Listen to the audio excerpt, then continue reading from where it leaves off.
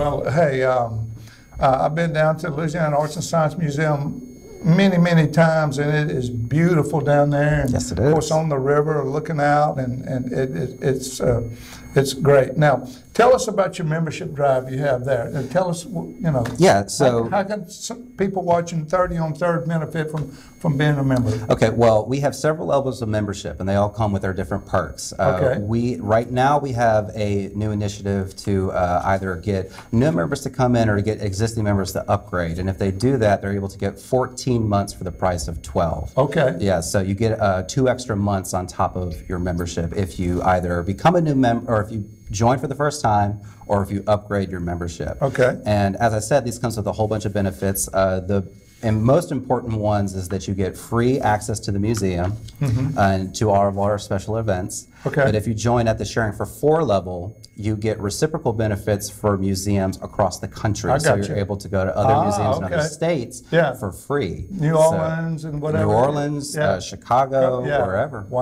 Well, it depends. We, uh, we have a special partnership through NARM, N-A-R-M, and if you go to their website, you can check out all the different museums that are part of this program. Okay, you got the program with Mr. Randell and Henry this weekend. Yes, and we also have a reception on November 7th, so you can actually come to see the art, enjoy some wine, some hors d'oeuvres, and actually meet the artist himself. Okay, all right.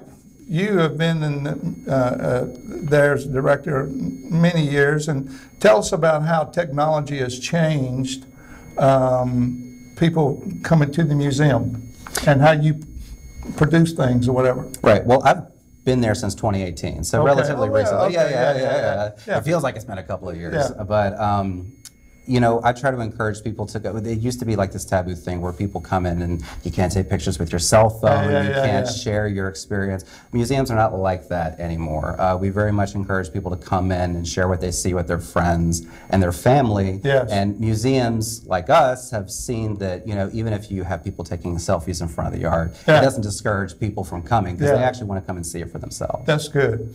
Well, um, I, like I said, I've been there many times, and is there anything else coming up that we need to be aware of? That We have a ton of holiday events that are happening. Okay. Uh, we have a Very Merry Museum that's happening on December 7th. Okay. Um, we're going to be having ornament workshops. We're going to have showings of the Polar Express. Uh, one of my favorite holiday movies. Uh, Okay. We're encouraging people to come in their uh, their pajamas, their Christmas pajamas, you know, to have a little bit more of a holiday feel. Sure. And a lot of these holiday events are very generously sponsored by Baton Rouge Coca-Cola, so we're happy to have them as a partner. Cool. All right, good people watching um, uh, 30 on Third. Uh, Great to have Nick here again. He's going to come back on a regular basis and just tell us what's happening down at the Absolutely. Louisiana Arts and Science Museum. Uh, get down there this weekend and see this beautiful art by Mr. Randell, uh, Henry, and uh, Nick. Thank you.